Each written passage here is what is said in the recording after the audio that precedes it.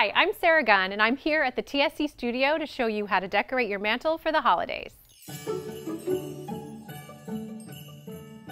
Starting with the top of the mantle, I love the idea of layering some colorful vintage style ornaments with some beautiful natural elements.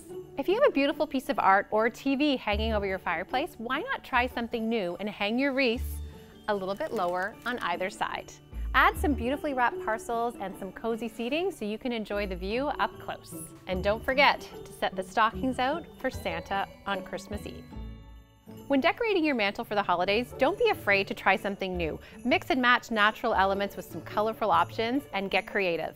For more tips and inspiration, visit tsc.ca.